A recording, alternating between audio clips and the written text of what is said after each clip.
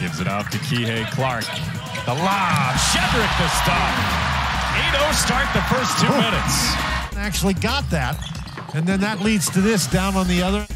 They've got a tremendous size advantage on the interior. They need to try to utilize that. Instead, a contested two, but an offensive rebound and putback. Shedrick with a chance at three. Franklin was calling for it.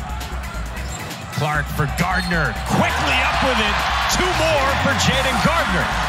233 pounds. He just gets some space in the lane, feels that pressure, and just gets it up there. I mean, that's a power, that's what you call power move.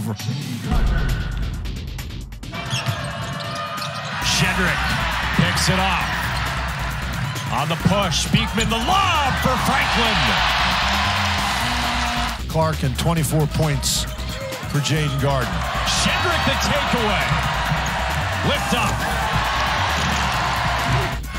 Six to shoot. Kihei Clark got a switch. Fofana can't stay in front, and Clark scores. Kihei Clark scoops it home.